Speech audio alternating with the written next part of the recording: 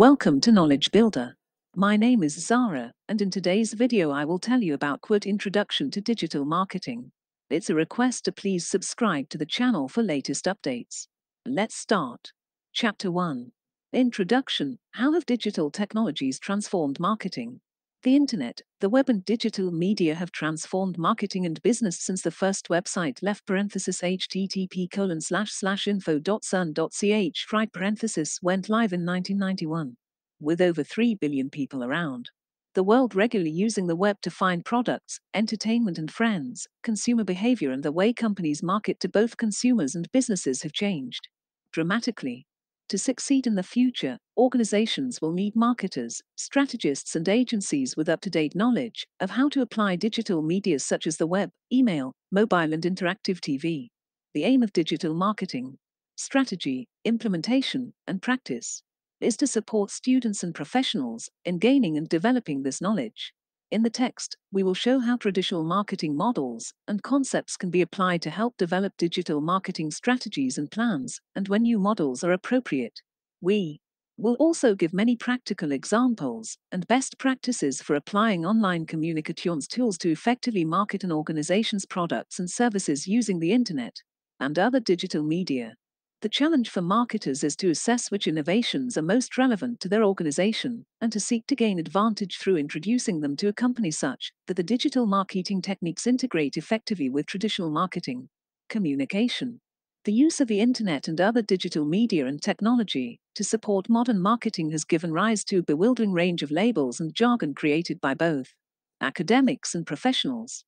It has been called digital marketing, internet marketing, e marketing, and web marketing.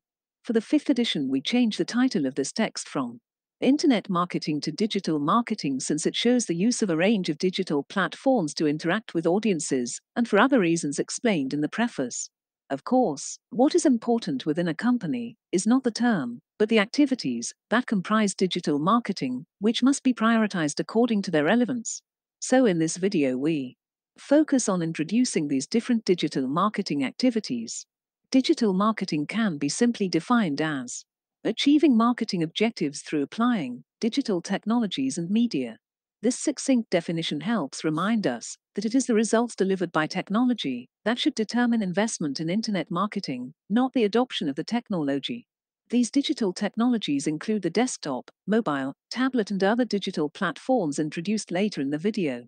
In practice, digital marketing includes managing different forms of online company presence, such as company websites and social media company pages in conjunction with online communications techniques introduced later in this chapter, including search engine marketing, social media marketing, online advertising, email marketing, and partnership arrangements with other websites.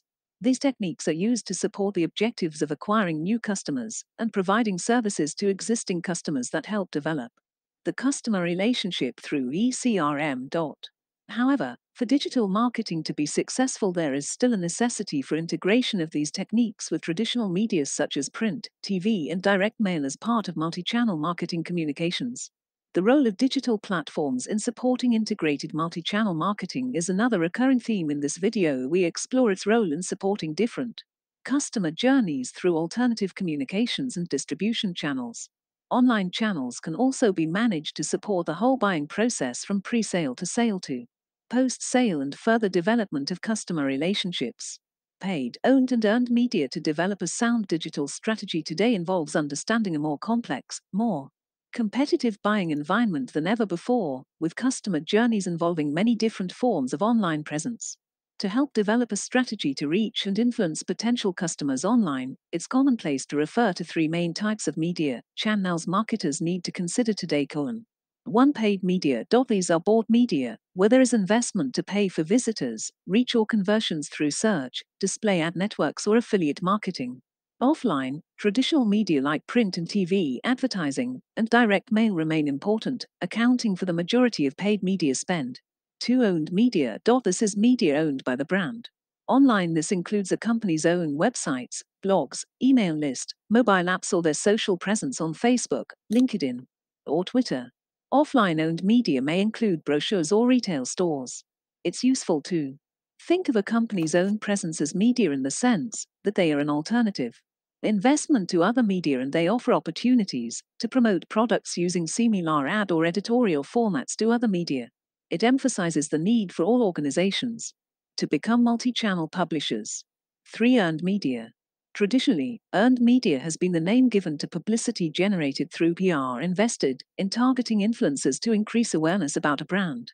Now, earned media also includes word of mouth that can be stimulated through viral and social media marketing and conversations in social networks, blogs, and other communities. It's useful to think of earned media as the sharing of engaging content developed through different types of partners such as publishers, bloggers, and other influencers, including customer advocates. Another way of thinking about earned media is as different forms of conversations between consumers and businesses occurring both online and offline. Thank you for watching the video. Please subscribe.